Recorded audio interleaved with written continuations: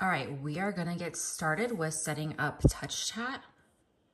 Um, so the first thing you're gonna see when you open up TouchChat is a lot of different vocabularies. Um, word power is the recommended vocabulary. There's lots and lots of different things that you can look through.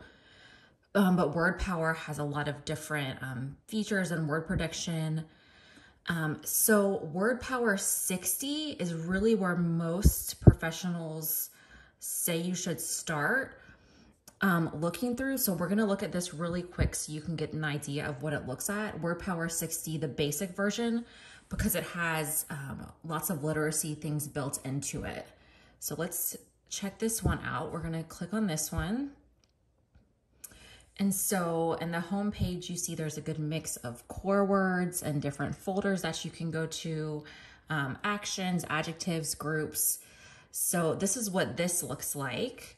Um, if you're worried that the buttons maybe are a little too small, my recommendation would be to screenshot this and print it out. Um, and then, you know, see what your child's um, feels comfortable pointing to. Um, you can also, we're going to go back to here to word power. Some people use 42 if they're concerned, you know, that their child will not be able to press those buttons. So you could also try out this one. The basic one is also the recommended one for this.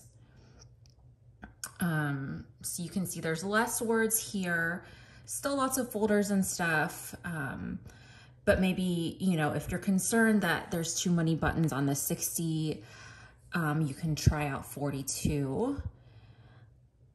Um, a really, another really good one, if you think more words the better, is the word power um, 108. The word power 80 is is is kind of strange. You can look at it yourself, but it has a keyboard on the homepage. So unless your child is literate in typing already, I wouldn't recommend 80. So 108, um, this one SS without the keyboard. As you can see, there's a lot of core words here um, and lots of different things for grammar. So this is also a really good one. So between the word power 60 basic, um, 42, and the 108, you know, maybe get a feel for what you think your child would be interested in. Um, and you can try all three of them with them um, and even ask them what you think what they think would be the best, um, what they feel the most comfortable with.